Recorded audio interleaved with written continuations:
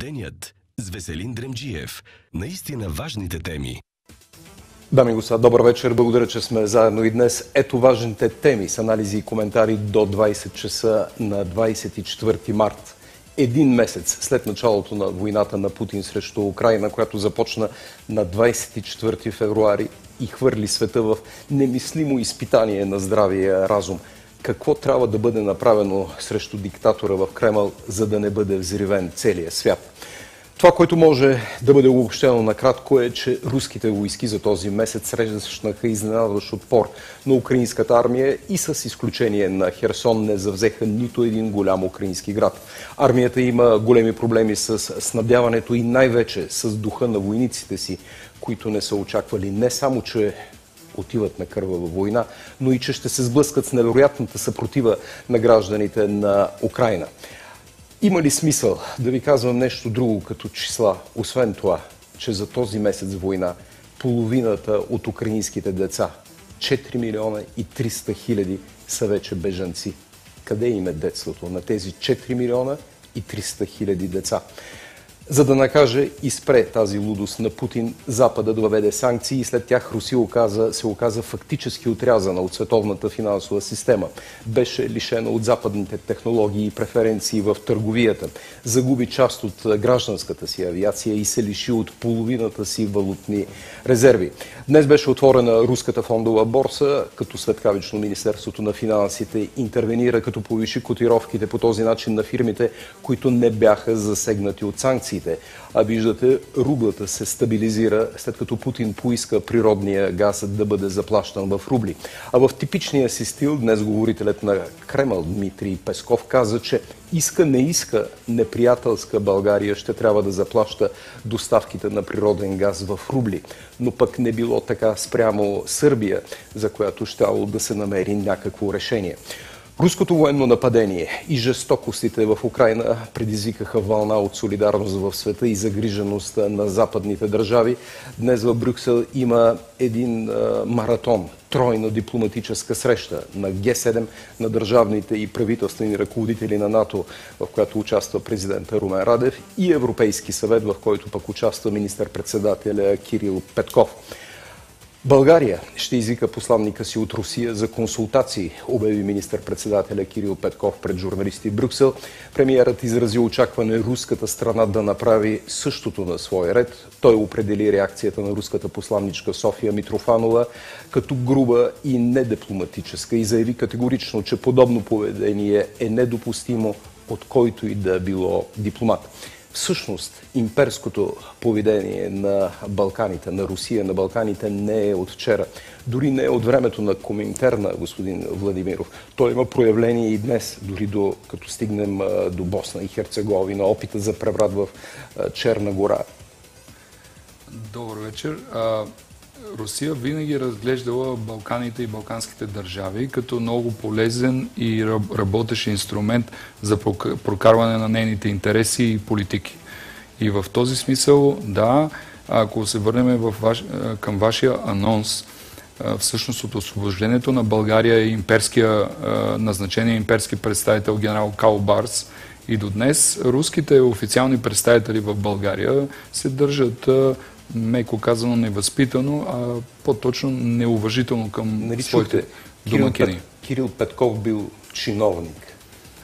Ами... Чиновника на подлогите. Аз не съм адвокат на Кирил Петков, но всъщност чиновника е госпожа посланника на Руската федерация. Което ако се върне в Москва, за съжаление, няма да може да пазарува в София. Мой гост е Владимир Владимиров. Със сигурност обаче Путин загуби войната от Зеленски.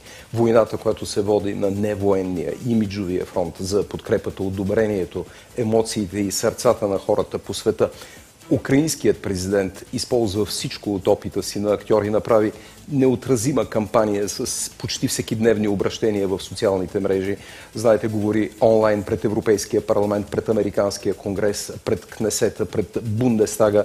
А в българския парламент пропутинските партии бягат като дявол от тамян от такава идея и дори подмятат, че трябвало да се чува и другата гледна точка на диктатора в Кремъл, който впрочем прекъсна Фейсбук, Инстаграм, създаде армия от тролове срещу западните държави и дори, както ще говорим с Спас Иванов, се изкушава да изключи интернет. Но Путин е много закъснял спрямо Китай, който направи това преди много, много години. От българските политически теми отбелязвам, че днес се проведе, сега ще видите снимки, шествие грандиозно в София в подкрепа на Украина и най-вече на подкрепата на Евроатлантическата организация Ориентация на България, която е в трън в очите на Кремъл и източник на явна ненавист към българите. А в неделя от 16 часа ще бъде осъществена идеята на Васко Кръпката, концерт за солидарност с Украина под мотото «С вас сме». Този концерт ще вземат участие, освен Кръпката, Валди Тотев, Иван Лечев, Джендема, Ники Томов и други. Специални гости ще бъдат и украински музиканти в София. А иначе внимателно следете какво става по темата правосъдие. След като прокуратурата вчера излъга, днес призна, че разследва Кого разследва? Финансовия министр. Вчера твърдяха и днес, че не разследвали Асен Василев. Министрът на финансите се нарича Асен Василев. Но пък едва в понеделник прокуратурата ще разпитва отново Борисов, Пиар Севи и бившия финансов министр Горанов. От друга страна, за да пази Гешев от уволнение, неговото вярно мнозинство в Висшия съдебен съвет направи така, че той да не отговаря за скандалите Жоси, Баневи, Елена Йончева и така нататък. Същата тази прокуратура, която за разлика от Европрокуратурата и българската полиция, не може и не може да намери начина, всъщност желание да разпита опасния за бившата власт Васил Бошков, който днес даде пресконференция от Дубай. Има защо Гешев да разпъва този чадър над предишната власт. Днес Бошков разказа. Борисов ме извика в резиденция Бояна. Той каза, че ще оправим нещата, но трябва да помагаш. Пратиме при Менда Стоянова, тя свърши работата. Пратиме при Влади, за да ми каже какво да давам. Как са делили парите с Бойко, не знам, но никой не се е оплакал, че не съм изпълнил това. Севда ще мине, ще ти каже какво. Дай 10, дай 20, дай 50 за разни неща, каза днес пряко от Дубай Васил Бошков. По-късно вътрешният министр Бойко Рашков даде пресконференция и обясни как дори, за разлика от е, досегашната си практика по други, много по-леки случаи, прокуратурата е действала сега по различен начин. Чуйте Рашков.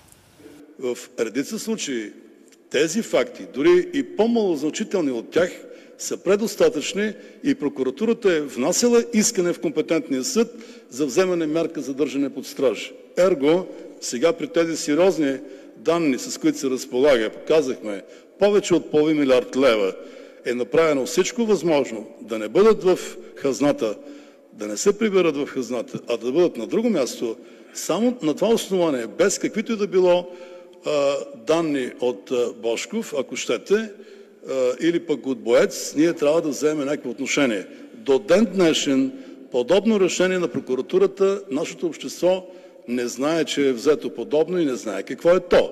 Напротив, в последните дни госпожа Маджарова, ръководителка на спецпрокуратурата, заяви, че на въпроса има или няма повдигнато обвинение срещу бившия финансов министр Горанов, отговорът беше не, това е следствена тайна. Защото ние, българския народ, сме като някакви овце. Нас могат да ни държат в неведение. Ние не трябва да знаем нищо, защото някой от прокуратурата иска да бъде чадърнат лица, които са имали сериозни властови позиции само до преди една-две години.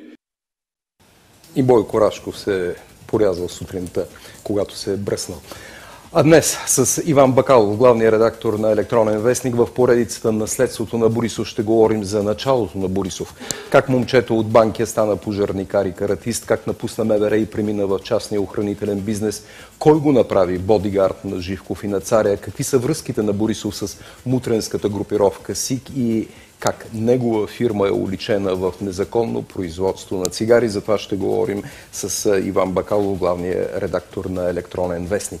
Ето и прогнозата за времето на фона на кадри на живо от Милано. С поздрав към всички, които гледате в чужбина денят на живо или на запис. Да кажа, че България през нощта ще бъде ясно с минимални температури между 0 и 5 в София 1-2 градуса. Утре ще бъде слънчево с заоблачаване над източна България, където там на места ще превали краткотрайно. Максималните температури ще бъдат от 11-12 в северо райони до 19 градуса в крайните югозападни край Санданския. В София максималните утре 14-15 градуса.